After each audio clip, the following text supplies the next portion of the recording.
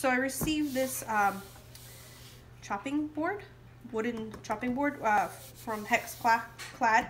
Now it's very, very, very, very heavy. This whole thing is wood.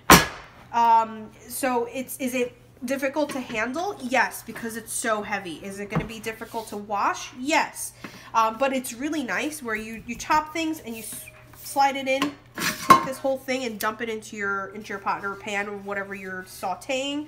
Um, but what I also like is you can flip it and there's the grid part where you can um, put like a turkey or ham, roast beef, steak, whatever you're cooking, any meat you want it to rest a little bit, put it on here. The juices will collect here and go into the um, the pan, and you can either discard or use the juices.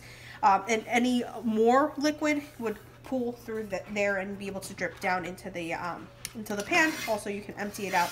So either way, you can use this portion, front or back. There is a handle on this side, uh, and of course the handle on this side. But the whole thing is very, very heavy.